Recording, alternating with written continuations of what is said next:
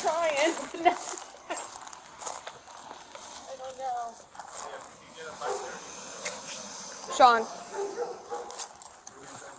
I want you to hold this near his head. Can we get to the water through back here? Um, it's, yeah, Back this way?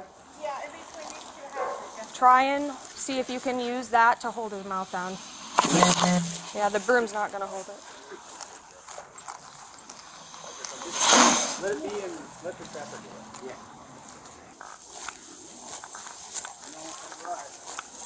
Don't fall in.